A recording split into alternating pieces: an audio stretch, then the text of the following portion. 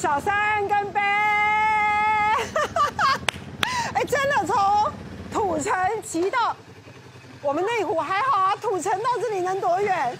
很近啊，很近，对不对不是那个那是土城，台南的土城，对？哎，台南土城到内湖到底有多远啊？我刚刚特地 Google 了一下，给大家看一下好不好？总共三百一十三公里，花开车哦，开车时间要三小时十三分钟那。是高速公路哦。那请问你们骑了多久？如果如果如果不走高速公路，至少 Google 导航要四个半小时哦。而且这是不含加油跟休息哦。我们刚刚看到你们出发的影片啊，那个时候是几点？那时候大概是早上八点左右，因为有人迟到，所以没有谁。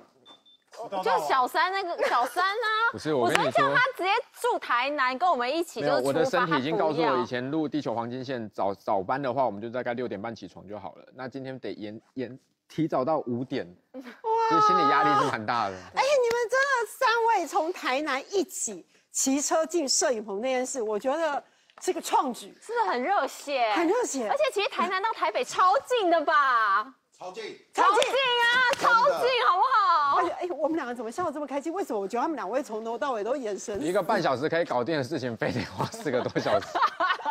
而且昨天还下大雨，有没有？后来下大雨，对不对？超大，就是他他今天来是全身湿的，因为他没有带换洗衣服，对然后刚刚在楼上吹了大概快一小时的吹风机，再把衣服吹干。这两位，你们本来跟李毅有认识，嗯嗯，对吧？嗯，好啊，所以他们请你就一起加入，哎，感觉也还蛮合理的。是我刚刚录影前才知道，我们今天一起来的艾尔，艾尔本来跟李毅熟吗？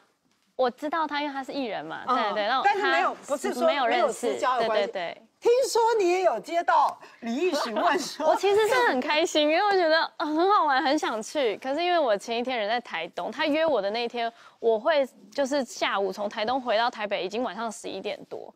然后所以他是怎么约你？他的意思是说，阿 Ben 说好，你要不要一起去？为什么这么爱骑这一台车呢？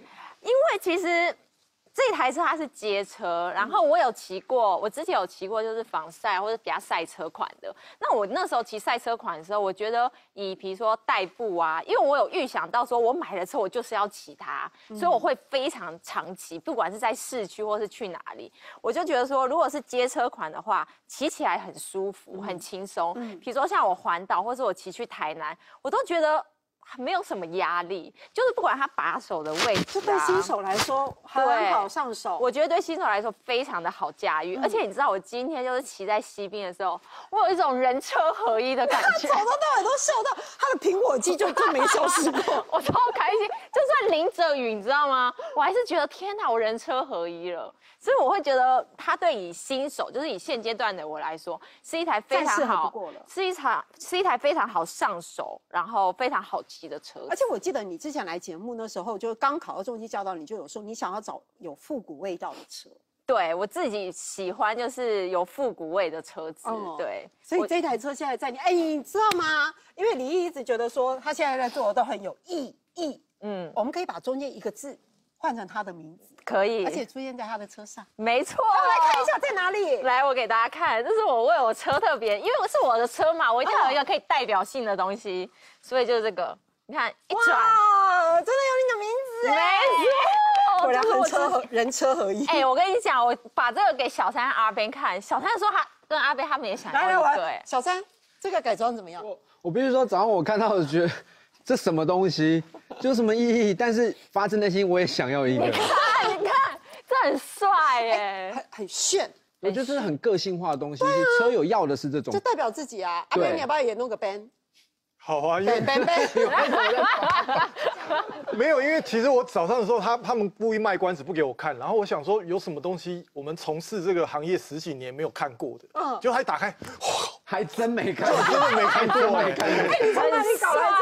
很厉害你知道，我我还没有改装我车子任何一个部分，因为大家都一直跟我讲说，你只要动了一个地方，你就会开始大动，对，你就会把无底洞。就是一个大无底洞，所以其实我很紧张，可是我又很想要有一些可以代表自己的东西，因为很多人就会把自己弄成螺丝或什么弄成自己喜欢的颜色，把它变成自己的车嘛。是的但是我还怕，我怕那个无你现在还底洞。踩着那个线是不是我在那个底线上面，所以我想说，我先从一些就是基本的小东西，然后先开始，就装了一个这个代表自己。哦，对然后这一台六五零呃，应该这样说，到现在为止啊，你你跟它的契合度，嗯，你觉得就是已经到了一百分了吗？我觉得今天我感觉到一百分，因为今天我们骑西兵的时候，其实是风非常大，因为现在东北季风，嗯所以我们是逆风的。很冷吧？很冷，然后又逆风，所以我们一直在破风，然后骑到苗栗新竹段的时候又是下大雨。可是，在你越艰苦的时候呢，你骑着它，你越有一种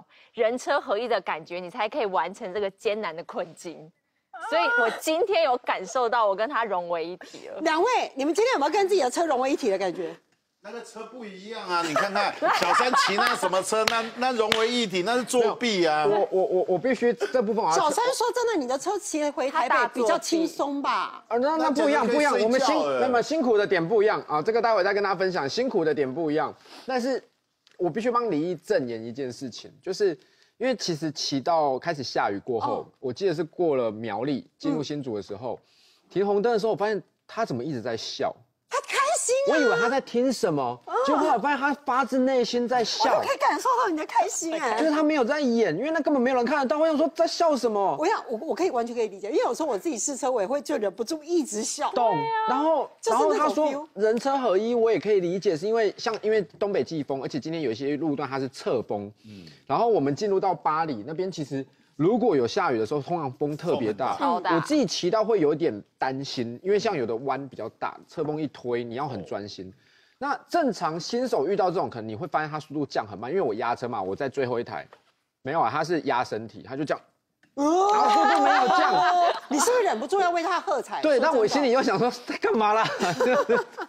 但是他，但是他骑得很稳哦，很开心你会觉得自。己解锁了一一个你一直很想要完成的事。对，啊，我真的有这种感觉。可是我我还是觉得冬天可以不要骑，就是冬天如果要骑的话，就是有重要事情再骑，因为那段今天骑来真的有辛苦哎、